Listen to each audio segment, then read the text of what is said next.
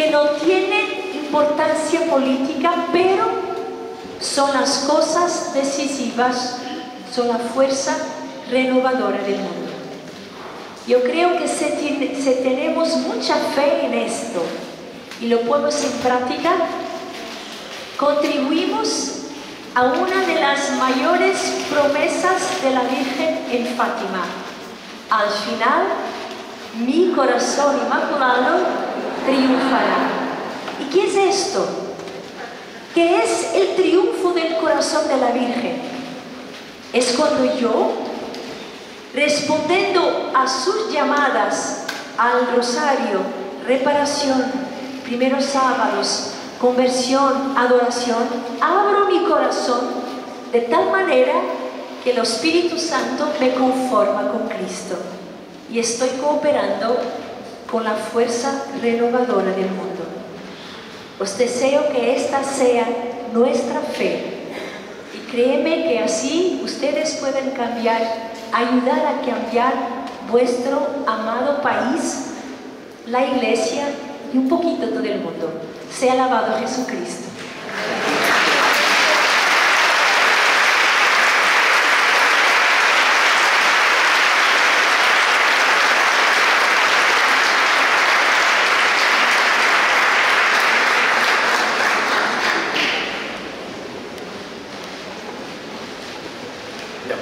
Ahora vamos con las preguntas. Vamos a hacer la misma modalidad. Vamos a por cada módulo. Vamos a intentar una pregunta por módulo. Eso es súper importante. Vamos a partir por acá, luego vamos hacia, allá atrás y después venimos acá adelante y allá. Son solo cuatro preguntas para que después no se pierdan. Vamos por acá. En este módulo, una pregunta a la hermana, rápidamente. Dale. Buenas tardes, hermanas, un gusto. Aquí en Chile, como en otros países del mundo, están avanzando muchas cosas, como por ejemplo la ideología de género, el gender, eh, y también el gobierno de Chile hace unos meses anunció un proyecto para legislar sobre la liberación del aborto. Pareciera, eh, hacemos muchas campañas con el rosario eh, para evitar estas cosas, estos males, pero ¿qué actitud interior nos falta para que, para que nuestra oración tenga mayor eficacia? Gracias. Gracias. Yo creo justo que es una enorme confianza en Dios y abandono. Ellos son los señores de la historia y el mal no tendrá la última palabra. Eso ya lo sabemos. Nos toca a nosotros hacer lo que a nosotros nos toca. ¿Qué es esto? ¿No? El rosario, la reparación, la consagración, la adoración eucarística. Yo creo, junto a Carolina Ratzinger, que esto puede verdaderamente cambiar el mundo. Pero a nosotros, interiormente, que ha sido su pregunta, una enorme confianza y abandono en las manos de Dios. Ellos saben incluso los tiempos, cuando esto va acontecer, ¿no? que, el mundo tenga paz, que la gente se, esté centrada en Cristo. Pero lo, que a mí me toca, es lo que me preocupo, es esto, hacer lo que puedo hacer con mucha confianza y abandono en Dios. Muchas gracias, hermana. Ahora el módulo de la parte de acá atrás. Acá tiene una pregunta. Buenas tardes. Usted dijo al final que el Inmaculado Corazón de María triunfará. Eh, es cuando yo respondiendo a su llamado abro mi corazón y no terminé de copiar. ¿Puede terminar la oración de nuevo? Le agradezco. Sí. Y otra, ¿cuál era la quinta oración que enseñó el ángel muy bien. Torcito, porque en la primera parte usted dio nada más cuatro, pero le faltó la quinta. Gracias. La primera pregunta sobre el triunfo del corazón de María. Eh, cuando yo abro mi corazón para la acción del Espíritu Santo que me configura con Cristo. Pero lo que quiso aclarar es que yo tengo que, pienso que tenemos un poco a veces esta idea un poco confusa, el corazón de María triunfará de una forma triunfalista, sensacionalista, ¿saben? Como una guerrera, no sé qué. Pues no, me parece ser el estilo de la Virgen, porque no fue el estilo de- del Señor. El Señor fue muy humilde, tan humilde que los fariseos lo rechazaban. No podría ser este Mesías, ¿vale? Porque la resurrección, que es el hecho más importante de nuestra fe, nadie lo vio. El resucitado sí, pero no el momento de la resurrección. Así que a mí me parece que el triunfo de la Virgen es en el corazón de sus hijos. Y cuanto más se configuran con Cristo, mayor se difunde su triunfo. ¿Vale? Las oraciones son dos enseñadas por el ángel, dos por la Virgen y la última la que reza la hermana Lucía. Santísima Trinidad, yo os adoro, Dios mío, Dios mío, os amo en el Santísimo Sacramento. Vale, gracias. Sí, así la dos del ángel, dos de la Virgen y una de la hermana Lucía, inspirada por el Espíritu Santo. Gracias, hermana. Acá tenemos una pregunta. Hola, eh, solo Ángela, una consulta. Si la Virgen nos prometió, le prometió a Sor Lucía a los más cuartositos que estarían en el cielo, ¿por qué habría una causa? Muy bien.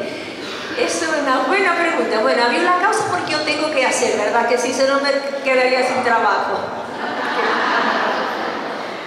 No. Mire, la Virgen ha dicho esto, pero la Iglesia tiene que comprobar. Tiene que probar que los niños fueran fieles. Mire, nosotros tenemos una gracia enorme que se llama bautismo. Mucho mayor, mucho mayor que los niños ver a la Virgen. ¿Ok? Es mucho mayor la gracia de tener el bautismo que de ver a la Virgen. ¿Ustedes están convencidos de esto? ¿Ok? La cosa es que un santo es alguien fiel a su gracia bautismal. Incluso Jacinta, Francisca y Lucía.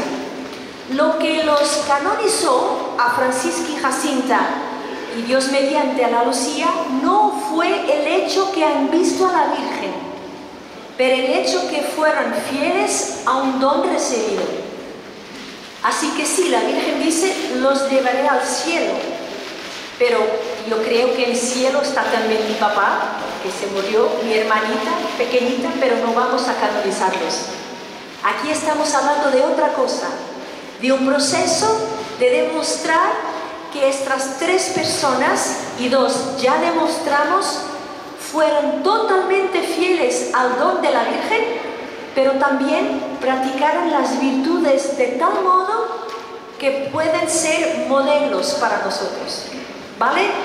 Por eso tenemos que hacer el proceso.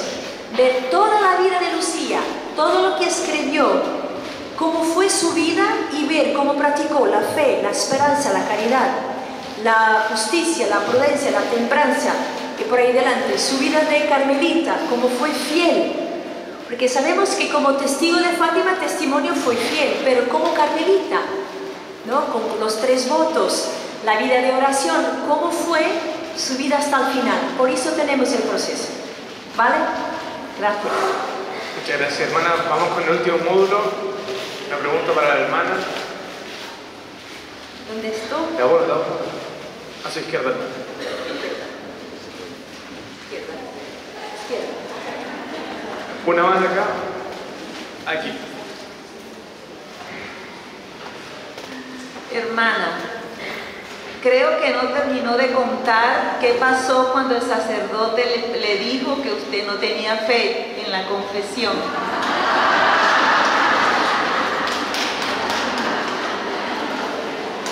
Me puso muy nerviosa y él me explicó, ¿no? Que tenía que hacer la experiencia de Dios.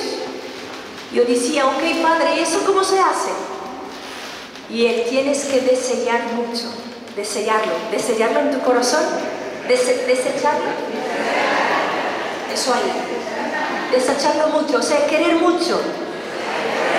Desearlo. Tienes que querer mucho, desearlo mucho. Yo decía, pero eso cómo se hace, padre? Y él se reía y decía, bueno, un día después del otro, vaya al Señor y pide a la Virgen, Madre, permíteme hacer la experiencia de Dios. Eso fue 14 años atrás. Yo creo que todavía estoy intentando. Pero no me desanimo, el Señor sabe cuándo llegará el tiempo. Gracias por la pregunta, nadie me ha preguntado esto. Le damos las gracias a la hermana. Ah, ok. Un abrazo para la hermana, por favor.